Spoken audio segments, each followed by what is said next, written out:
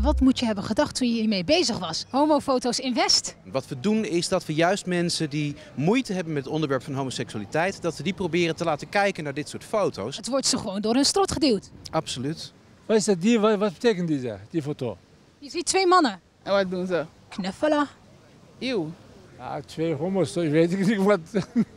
twee is een beetje liefde elkaar, weet ik niet. Weet je wat erop staat? Ja, en, twee Surinaamse mannen, geloof ik. Beetje schokkend, Waarom?